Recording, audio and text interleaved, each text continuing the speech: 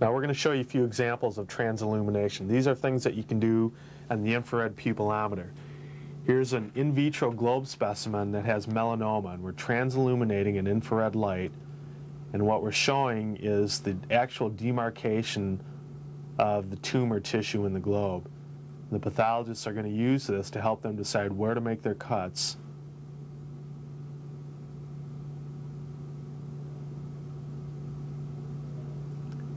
Although we don't have a picture of this, it was very hard to see the full extent of the tumor by just gross inspection of this globe. So in this particular example, the pathologists are using this technique to help them decide grossly where to examine the tissue. It seems as though the more we use the infrared pupillometer, the more clinical uses that we find for it. Now here's an in vivo example of a tumor. Now there's obviously something going on in the superior iris and globe of this patient, but it's kind of tough to find out the extent of what this mass is.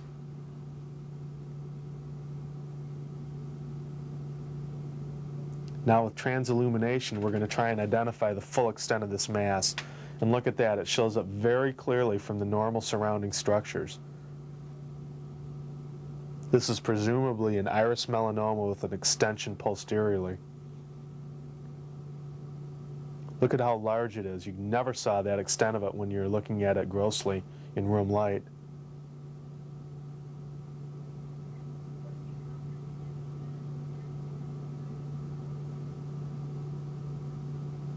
This is a very nice technique to define the size, extent, and perhaps even the invasiveness of a globe tumor.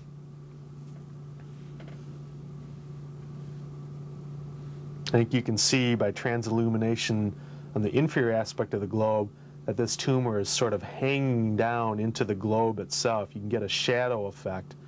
Look at that, for example. You almost get the feel that this tumor is hanging down from the inside of the globe.